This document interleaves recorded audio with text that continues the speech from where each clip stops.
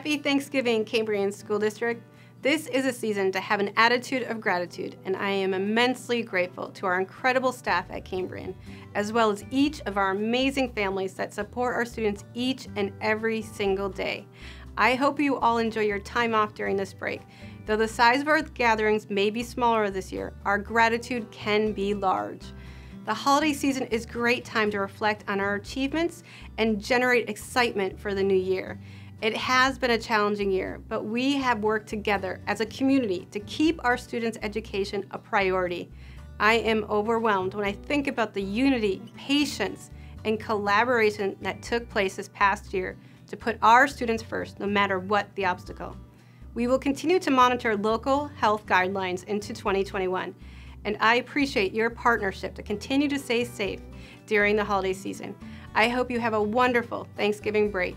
We are Cambrian.